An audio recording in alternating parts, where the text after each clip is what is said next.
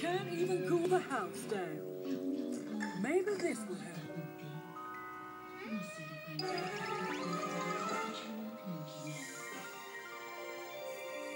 My, my, Thomas, you read my mind. We shouldn't let all this nice, cool air go to waste, now should we?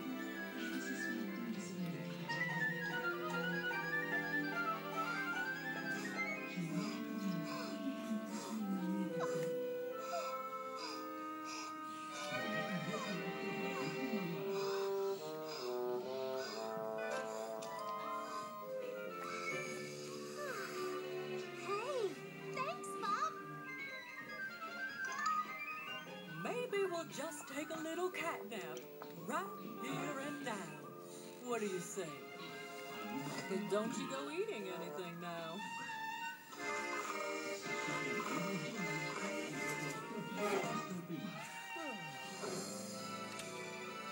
That's right.